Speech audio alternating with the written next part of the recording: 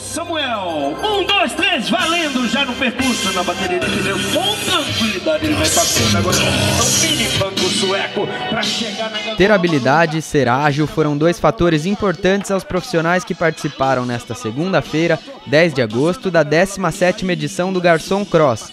O evento, realizado no centro de Sorocaba, chamou a atenção de quem passava pelo local os garçons e garçonetes participantes tiveram que carregar bandejas em um circuito de obstáculos.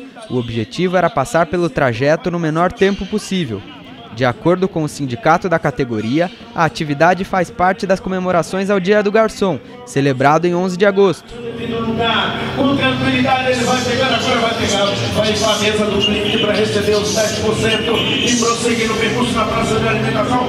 Agora ele troca a sua cerveja quente por uma cerveja bem geladinha, geladinha, geladinha, para prosseguir no percurso para chegar aqui na ponte do rio que cai. E ao chegar na ponte do rio que cai, balanço para lá, balanço para cá.